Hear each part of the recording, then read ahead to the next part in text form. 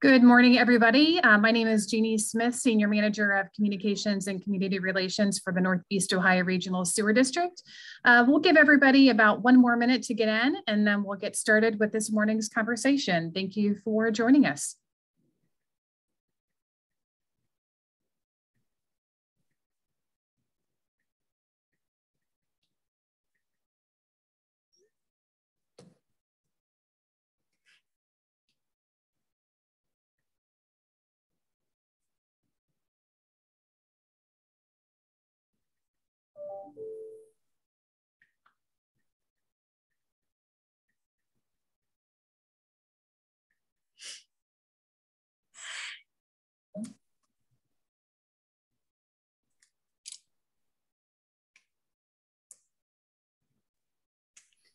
And yeah, the recording will be available um, afterwards. Someone had just, oh, thanks, Jen. Uh, good morning, everybody. Again, my name is Jeannie Smith, Senior Manager of Communications and Community Relations for the Northeast Ohio Regional Sewer District. I would like to thank you all for joining us this morning to talk about sponsorships and um, media partnerships for 2022. On the uh, Zoom call today, I have my colleagues Jennifer Elting, Senior Public Information Specialist, as well as Jessica Schutte, Community Relations Specialist. Um, I do not know if John G uh, stayed on, um, but if so, we have John Gonzalez, who is our Manager of Communications, as well as our social media extraordinaire. Uh, just a couple of housekeeping notes this morning. Jennifer Elting will be managing the Q&A. So if there are questions today, we ask that you drop them in the Q&A um, and she will be happy to address those questions. If there's anything that needs to be specifically addressed, um, certainly feel free to reach out to us afterwards. Um, otherwise, you can use the Q&A function to ask those questions. So let's get started. Again, this is the 2022 Partnerships and Sponsorships meeting for the Northeast Ohio Regional Sewer District. And our agenda today will be a brief overview about us. So if you've been with us over the past couple of years, we've gone pretty much in depth in terms of the work that we do. We're going to scale back on that a little bit this morning. And we just encourage you, if there's any questions that you may have about the work that we do outside of what we share with you today, uh, please feel free to reach out to us. There's also a plethora of information on our website at neorsd.org. We'll jump into uh, to the 2022 key messages. Uh, we'll touch briefly on the budget and then we'll review the process and timeline. So I wanted to start today's conversation with a question. Did you use water today? I'm going to assume that you all did, whether it was by making a cup of coffee, taking a shower, um, maybe doing a, a, load of laundry uh, this morning before you headed out, out the door or hopped in front of your computer. Um, and so if you do use water, you may ask that question, where does it go? We get this question a lot. What happens to that water that um, you use or others use? And the very simple answer is that it comes to us. Um, and so this is our, our, our uh, urban water cycle. You'll see here on the uh, top right um, your home. And when you use that water, it goes through the system to a wastewater treatment plant.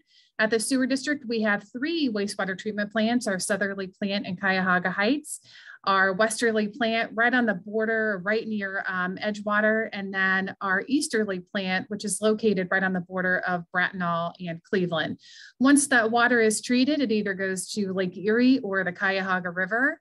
And then the Cleveland Division of Water takes that water out of the lake and pumps it back to your house. So it just is a, a big cycle. It's, it's called the urban water cycle for a reason. Um, again, because it's just this process of taking water out of your home, cleaning it, putting it back into a local water body, and then uh, sending it back to your home. We uh, provide service to 62 communities in Greater Cleveland. Here's our service area map. It's a little hard to read on the screen and we'll be happy to share the presentation with you today so you have a better view um, of those communities that we serve. The various shaded areas reflect the different treatment plants that are served in this particular community. So again, 62 communities in Greater Cleveland, that is our service area. And so at the end of the day, the, the message that we want to convey is um, not only what we do and why what we do is important, but we want people to really understand that at the end of the day, water is life. it makes life happen, it makes civilized societies move, um, and it also helps to protect public health. So we are very focused on clean water as a water quality, um, it, you know, within the framework of water quality, but also in the framework of public health as well. And as we move through uh, the, the key messages, that's just something really important to keep in mind that this is the information that we're trying to convey to the customers and to greater Clevelanders um, as a whole. So our services, again, I mentioned our treatment plants. We uh, treat wastewater. We have, as I mentioned, three treatment plants. We uh, treat about 90 billion gallons of wastewater every year. So to put that into, into a um, easy to understand framework, that volume of water can fit Cleveland Brown Stadium about 113 times. So it's a lot of water that we clean over the course of um, a year. We also manage a lot of the pipes that um, are located in, in the greater Cleveland area. So we're sort of like the highway of the sewer system. Um, many of the local systems, so whether it's in Cleveland or Parma, all those smaller sewer pipes um, flow into our big highway pipes and that and those highway pipes take all that water to our treatment plant where it's then cleaned. We also have crews that are that inspect our pipes pretty regularly to make sure that everything is running as it should be. Um, another core piece of our business is stormwater management. So we focus on flooding, water quality, erosion.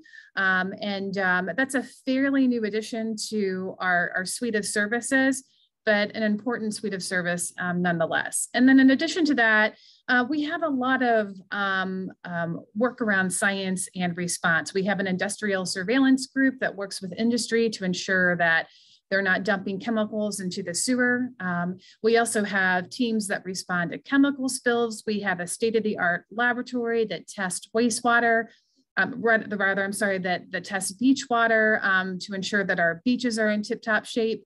And as I mentioned before, I'm not going to go into these in specific detail. You can find a lot of information on our website that really highlights the work. Um, but what we do is robust and it again, it's extremely important uh, to protect water quality and of course, public health, as I mentioned earlier. So before I go into our key campaigns, Jen, I just wanted to see if there were any questions in the Q&A that I can address for the crowd. Nothing yet, but if anyone does have any questions, if you can drop them in the Q&A, that would be great. And that way everyone can see them and everyone can see the answers. Thank you. Great, thank you, Jen. So now I'd like to, to jump into our key campaigns for 2022 this is our 50th anniversary. We are extremely excited to be able to celebrate 50 years of people, programs, and progress. This will be a primary focus moving into 2022. And I'm going to give you uh, just a, a, brief overview of, of what the campaign looks like. Um, so we will have a monthly focus beginning in March that really highlights the work that we do. Uh, each month will be represented by an artistic emblem, and I'll give you an example here shortly of one of those emblems for April. And then there's going to be a key featured public event and a media uh, event as well that will um, debut, uh, that will focus on the, the artistic emblem and then really help to tell that story for that particular month. So here uh, is the calendar of events and and I'll go through all of them shortly, but we'll be kicking all of this off in March. And the theme will be sparking change. And our focus is going to be on the Cuyahoga River. For those of you who have been with us for a number of years, you may remember our campaign in 2019 where we celebrated the, um, the, the, the anniversary of the 1969 Cuyahoga River fire. That particular fire was the catalyst for the Clean Water Act and the sewer district's creation. So we'll be highlighting that anniversary and a lot of the historical events that occurred that brought us to where we are today. And again, as I mentioned, that will be represented by um, artistic emblem. As we move into April, we'll start to tell the story of the sewer district. So you'll see that the theme is going to be a healthier lake and streams. We'll, uh, we'll, we'll highlight the investment that we've made in the collection system. And the number that we typically use when we talk about investment that we've made is $5 billion, but we know that that's a little bit higher given the recent investment that we've made in our systems. And we'll start with framing that content um, with information and, and with events that occurred in 1972 through 1982. And so I'm going to tease this out a little bit more Um, so that investment that we'll be focusing on is will be um, on the treatment plant process. Again, this is where the wastewater is treated. This is where we clean the water. And then we'll talk a bit about the investment that we've made in the collection system because that investment in the collection system really has helped us to get to a point where we are today. We'll also talk about some of the significant construction um, that really relates back to the collection system. Um, and then we'll talk about how all this ties into the anniversary of the Ohio EPA, who was also created in 1972. And as I mentioned, the anniversary of the Clean Water Act. We are looking at hosting a key media event in April that will um, allow media to come in and do some electrofishing. If you're not familiar with electrofishing, uh, we have a boat that goes out and um, they'll go into a body of water, they'll shock the fish, and then they look at the, the type of fish that are in that body of water. And that is an indicator of the water quality in that particular body of water. And I will tell you that the trend that we've seen over the past 50 years is that water quality has improved significantly. We're seeing many, many uh, fish, excuse me, fish species that are pollution intolerant. So these are fish that do not survive well in dirty water. And when you see fish that are pollution intolerant, again, it's a great signifier that water quality is really improving. Um, we're also going to host a key public event, and I do want to tease this out a bit. So for each month starting in April through August, we want to have a key public event where we unveil this artistic emblem and um, we'll also, um, and so this is one of the artistic emblems for April. This is still in draft form, but we would like to unveil this at a specific event um, every single month. So whatever that artistic emblem is, we again, we want to have a very, very key event that unveils this piece of artwork. Um, well, at this particular event, we'll do something very special. Uh, it'll be either a t-shirt printing or an opportunity to print the emblem on a bag. And we'll be doing this every month with each of the uh, different pieces of artwork. Um, this is just a picture of maybe an opportunity that we'll present at this particular event. This is a picture of some uh, screening of t-shirts. So again, we're, we're still teasing this out, but we are looking for locations to actually house and to host um, the specialty event for every single month throughout the 50th anniversary celebration.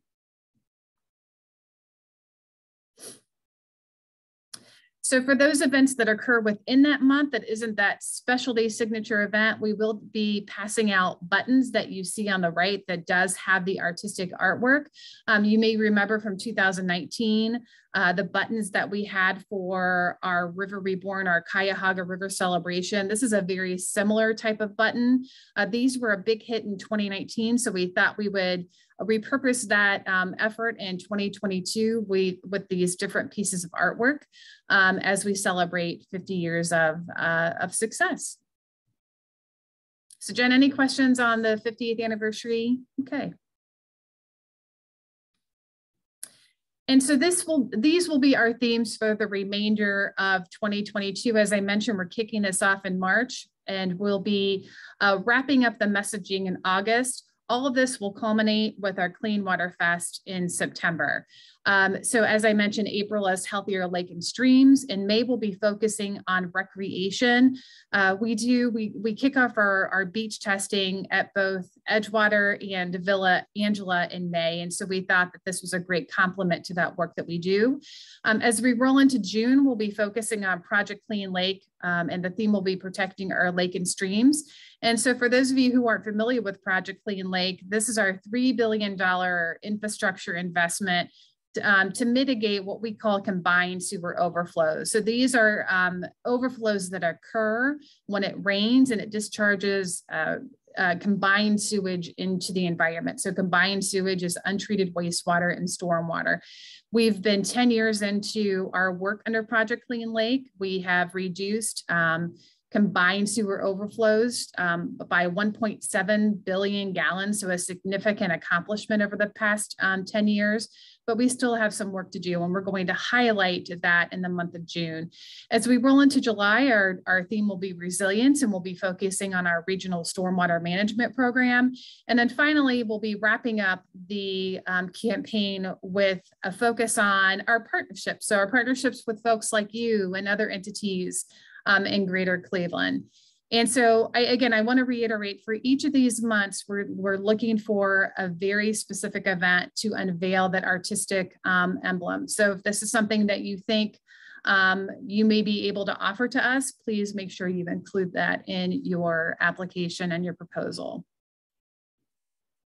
So we'll move on uh, to scholastic outreach. We are very much interested in, in tapping into the younger generation. The way that we look at it, children are either going to be a ratepayer eventually, or they could be really good candidates to come and work for us at some point. So we wanna make sure we're getting information to them um, at a very early age. And we work with very young kids to high schoolers to college um, age folks. So if there's an opportunity to tap into that younger demographic, and bring our message to um, that particular demographic, that's something that we would be interested in as well. Um, so moving on, uh, another area that we're looking at is how people can be personally invested uh, in protecting the environment. So what specifically can they do to help protect protect the environment? So we'll be focusing on two campaigns. The first is pitch those pills. So this would be a pharmaceutical collection. Uh, for those of you who aren't familiar with uh, the issues around uh, pharmaceuticals and wastewater treatment, we cannot remove uh, uh, pharmaceuticals from our wastewater. It's very complex and very complicated. So the education around this is to ensure that people are appropriately uh, just uh, getting rid of old pills that they may have sitting in their cabinets. Uh, the focus would be on seniors and um, parents, and then the timeline for this particular campaign would be April through October. Um, in the past, we have hosted pharmaceutical collections. So that's something that we would be very much interested in. Obviously, we know COVID um, will play a role in, in um, any kind of in-person collections, but we are looking to get back into the swing of doing uh, collections and then just some overall education opportunities as well. Um, in addition to that, we have our Pick Up Poop campaign. We call it PUP. And uh, you may notice that our pup looks a little bit different this year. So we, uh, we have changed our pup. We had an internal contest uh, to refresh our, our pickup poop campaign. This is a, a, a beautiful pup that belongs to one of our employees. And the campaign's focus is really on ensuring that people are picking up after their pets because if you leave anything on the ground, including dog poop, it could make its way into our local waterways and uh, impact water quality. So that is a campaign that we're that we're focusing on moving into 2022. So the audience, of course, would be pet owners, and the timeline we we really look at the warmer months um, because obviously people are out more often, and so the timeline for this particular campaign campaign would be May through September. So Jen, any questions as of this point? Um, there is just one, um, and someone would like to know for the um, 50th anniversary events, and Jessica may know the answer to this one. What is our specific space criteria? Um, if it's indoors or outdoors, and if we need electricity for the screen hmm. printing? Um, so actually, we're looking for either one. We're just looking for a place to uh, have our signature event where we can publicly say, okay, we will be at the, you know, the zoo or at the Agent Fest or somewhere um, where we're going to be unveiling that signature decal for that month. Um, we would have the t-shirt printing at that time. So indoors or outdoors doesn't really matter for us. Uh, we can print about 100 150 t-shirts in about an hour and a half. So that would be the cap of it, but we would still have a presence for that event, still offer other fun things to do. Um, so yeah, we don't have like a necessarily indoor outdoor thing, um, just as long as maybe we would have some coverage, be able to put, have a tent up or something like that if weather's an issue. So uh, yeah, just, you know, if you, like Jeannie said, if you pitch us uh, something in your sponsorship application and you're assigned to the CCR representative, we can work with you on figuring that out. So Jessica, would you say a minimal space would be like 10 by 20 or 10 by 10? Is there a, a like a minimal space that we would need for that? Uh, I would say a little bit bigger than 10 by 20 because we would be bringing in an outside um, person to help us in the t-shirt printing. So we would need like our own space to have our table and some stuff and giveaways and activities and such, but then also a little bit of a bigger space for that person coming in to do this uh, t-shirt printing as well. And yes, they need electricity. Um, and also their big thing too is we would need access to water because they use a lot of water when they're printing um, the t-shirts, how they do like the different things with it. So they did su suggest they have access to water if possible as well. Great, thanks Jess. And then finally, we are uh, really committed and have been committed for several years, but there's a, a real focus in 2022 and beyond to um, educate our customers about sewer bill savings. We have a, a slew of, of cost saving programs that we offer to our customers, including affordability, homestead, crisis assistance, summer sprinkling, and plumbing repair. If you're looking for specific information, again, I would encourage you to hop onto our website. Uh, for this year, we're, we're really zoning in on affordability. And there was an excellent article that came out this morning on the land that focused on uh, our, our, our affordability program. So a couple of points about that particular program. It's a 40% reduction in a bill. It is income based and um, two notable changes to affordability this year include an increase in the number of participants based off of their income. So there's a um, an income level that we look at, um, and it used to be 200% of poverty level, and we increased that to 250% of poverty level. I don't have the exact numbers in terms of the dollar amount, but ballparking, when you're looking at 200% of poverty level, the, the household income for that particular level would be about $57,000. By increasing it to 250, we increase that income threshold to about $65,000. Uh, so again, it, it, it increases that, uh, that base income and makes more people eligible to participate in affordability. We also added renters to our program. Uh, we have identified about 20,000 renters that would be eligible for our affordability program. And so we're actively reaching out to those individuals now, but we need your help to do that. Um, we have a goal between now and 2026 to increase overall participation in our programs by 10,000 participants. So it's a it's a a pretty significant increase, and we're looking at all venues to ensure that people know about these programs. And then finally, uh, our, our big signature event that we're so excited about. We have not been in person for Clean Water Fest uh, for nearly three years, obviously due to COVID. It is coming back in full force on Saturday, September 17th from 9 to 4 in Cuyahoga Heights. Uh, this is at our facility that's just up the hill from our Southerly wastewater treatment plant. If you haven't had an opportunity to attend the Clean Water Fest, it's a, a fun family free family event that includes about 70 plus vendors. Um, we have seen upwards of uh, 3,000 guests attend the event. And essentially, we have a number of our district uh, departments out talking about the work that they do. So it could be our treatment plant, our treatment plant folks, our sewer maintenance folks. Um, we have folks from our finance department to talk about bills. It really runs the gamut. And then we tap into folks like you to also come out and share your, your information and talk about the work that you do as it relates to um, you know, water quality or what have you. Again, about 70 plus vendors are at the festival. It's free. And um, as I mentioned earlier, we have not been in person for nearly three years. So we want to ensure that the public knows about the event. We want to increase those guests by a little bit over 3,000 people this year. And um, it's just really important that we get back into the swing of things and ensure that people know that, that this event is available and it's free. And we want them to come out and talk with us about the clean water work that we do.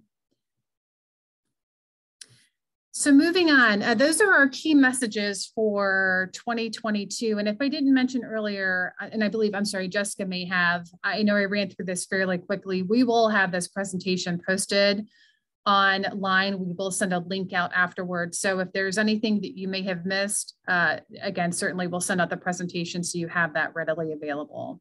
Um, Jen, any questions about the, the messages for 2022? Nothing yet, but if you do have any, please feel free to drop them into the Q&A for me. Thank you. So the question we always get, of course, and understandably is what is the budget?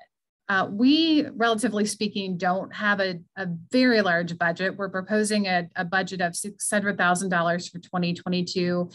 And it's typically broken down, um, as you see here. A, a, good chunk of it is um, focused on media, so TV, radio, print, uh, any kind of digital media. Um, another chunk of our, our sponsorship dollars go to our year long partnerships, and I teased out here as an example the Great Lakes Science Center, the Great uh, Greater Cleveland Aquarium, and others. And then we um, we have sort of a miscellaneous bucket for single events, so festivals um, in, in, maybe one-off um, types of partnerships. So this is a, an overall view of our budget moving into 2022.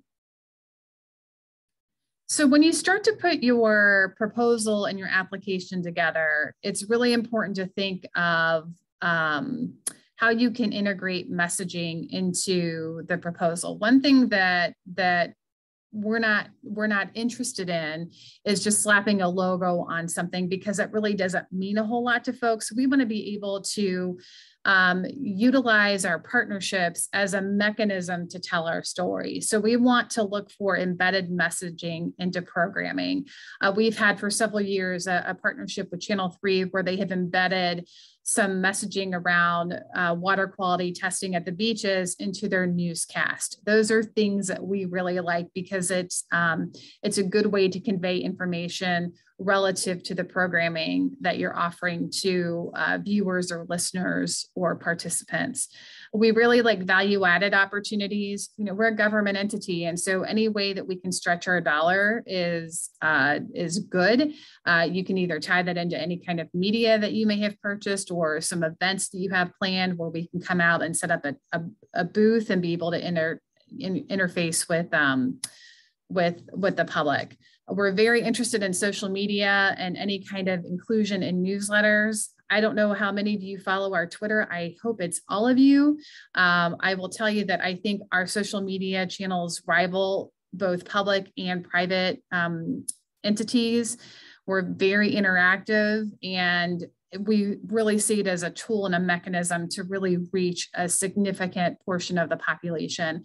We also like social media and digital buys. Um, you know, geofencing, geofarming, any way that we can target our customers digitally is something that we're very interested in as well. You know, as I mentioned, um, you know, we're really not looking for logo soup. So again, we're not interested in our in our logo being on the back of a t-shirt and that being the entirety of the sponsorship. Um, as I mentioned previously, we are looking for maybe on-site exposure, um, incorporating messaging into sponsorships, and again, social media newsletters. So not a whole lot of difference between um, the event and program sponsor and some of the media sponsorships. At the end of the day, we just want you to be creative and, and help us tell our what we think is a great story, but it can be a little bit complicated there's a lot of technical information that we have to share and we have to boil it down into easy ways for people to digest what it is that we want to share with them. So as far as the application process, I first want to make sure that um, everybody understands they need to be a registered vendor to do any kind of business with the sewer district. I will send this link out um, when I send out the, um, the presentation. But the very first thing you should do if you haven't done so already is ensure that you are a registered vendor. If you are a registered vendor, I would just check with our purchasing department. And again, that link is here to ensure that your information is up to date if you have changed names um, or if there's any significant difference um, in your business, you'll need to update that with our purchasing department. You need to complete an application online and submit to our outreach at NEORSD. We'll send out the application. I do have a link here. Um, Jen modified it so it's a little bit more fluid and easy to use, but you will need to complete an application and submitted to outreach at neorsd.org. So again, two things uh, that are important to focus on is registering as a vendor and then completing an application. Once we get that application in, you will be assigned a CCR point person um, and CCR stands for Communications and Community Relations. Um, I think many of you already have a point of contact and if you don't, one will be assigned to you. If you're approved, you'll receive a confirmation email In that email, you'll receive a recap form and some other um, other information. Uh, you will need to complete a recap form at the completion of the sponsorship. And that re the recap form typically consists of proof of, of performance. We need to make sure that everything that has been proposed in the application um, has been delivered. in addition to that, you'll be assigned a PO, a purchase order number. This purchase order number needs to be included on any invoices moving forward. It helps our wonderful Valeria Davis help to match um, um, the invoices to uh, your particular information in the system and it helps to expedite payment. And then um, in addition to that, I mentioned the uh, recap form. Uh, we do have a new logo. So you may see that our presentation from a color perspective, from a font perspective, looked a little bit different than the previous years. That's because we went through a rebranding and uh, we did change our logo. So please ensure that you're checking with us to make sure that you have the correct logo. You will see the correct logo in the bottom left of this particular presentation. Hey, Jeannie, can I just mention something real quick? Yeah, go ahead. Um, for those of you who don't know, because I know I've been getting a lot of questions, um, Ebony Hood, who was uh, a community relations specialist in our department, left the district um, to go on to doing her own thing. Um, so we're really sad that she's gone. But um, if you have questions, if you are an Ebony uh, assigned person, you can always reach out to me and I can help answer those questions. Um, and we will be hiring a new community relations specialist um, here within the next couple of weeks. So if you see a new name, um, I could do some introductions for you guys. But in the meantime, if you guys have questions, please uh, reach out to me and I can um, hopefully help in answering those questions for you.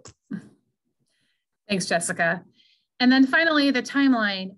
You can start submitting applications today. If you do have a time sensitive request, please make sure you note that in the application. So for example, if you kind of have an event that uh, is scheduled for the middle of February, please let us know so we can pull that out and take a look at it. Um, again, I, if I haven't said it enough already, please make sure that you are a registered vendor. And I, again, I'll send out that information in terms of the contact information for our purchasing department. And then finally, our budget is not approved for 2022. It will go to our Board of Trustees on Thursday, March 17th. After that point, that's when we start to really um, process the applications and um, uh, move on our sponsorships for the rest of the year. So until um, March 17th, our budget is not approved. Um, but once March 17th um, comes and goes, and if the board approves our budget, then we can start to process a good chunk of, of the applications that are coming in. And then finally, uh, so your contacts would be either me, Jen, or Jessica. And as Jessica noted, our uh, we have an open community relations specialist position. We're wrapping up interviews today uh, with the hope of offering the position to um, the, one of the candidates next week. So that position will be filled, um, as Jessica mentioned, in the next several weeks. And so anybody who worked with Ebony will likely be assigned this new community relations specialist. And with that, I am done for the morning. Um, I am happy to answer any questions that are in the chat um, or in the Q&A rather. If there are any questions that pop up afterwards, particularly around the events around the 50th anniversary, certainly reach out to either Jen, Jessica, or me. We'll be happy to answer any questions. Um, until then, as soon as we get off this call, pr probably later on this afternoon, I will be certain to send out the links to some of the important information that I discussed in the presentation, including information to our purchasing department, as well as a um, link to the presentation and the application. Jeannie, I just wanted to address one of the questions that um, Jane from Upcycle sent in. Um, if you want to be a vendor, a registered vendor, or a vendor at the Clean Water Fest, um, please reach out to me um, and I can help. And I'm going to be sending out the external exhibitor form to those that we've used in the past. Um, but if you have specific questions about the Clean Water Fest and being a vendor with us, please feel free to reach out to me and I can help um, answering those questions for you. And there was also one that said if there was a deadline for the applications, um, I would just say sooner than later, even if your event isn't until July or August. Um, you know, our budget only can go so far. So if you wait till like August to give it to us, we might not have the funds available. So, you know, we don't mind processing something that's for now, or I'm sorry, now that's not till a later date. You know, and, and COVID will drive a lot of our decision making at this particular point. Obviously, we all have been in this very odd space of, you know, hurry up and wait, hurry up and wait. Um, and, and so some decisions may be delayed just based off of how we're seeing COVID um, progressing. And again, if you have an event um, that's going to be, you know, in February, I know we have Black History Month, so we get a lot of uh, good events going on.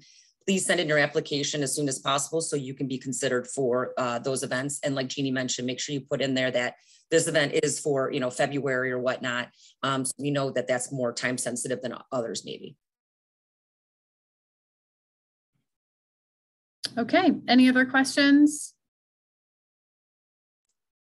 Nothing in the Q&A, but we will stay on the line for a little bit. If you have any questions or you need to talk with any of us, we'll be here for a little bit. Um, just, yeah, stick on the line and, and we'll be here for a little bit.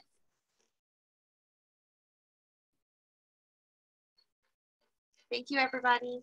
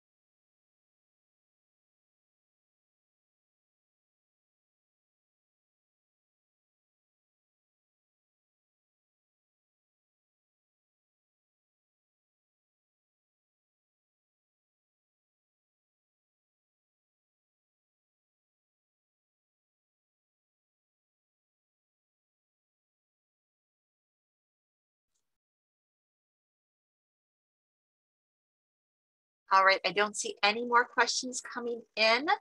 Um, but if you do have any, if anything pops up, um, please shoot us a note at outreach at neorsd.org. And that way all three of us will see the message and we will get back to you ASAP. Thank you everybody so much and we hope to talk to you soon. Thank you.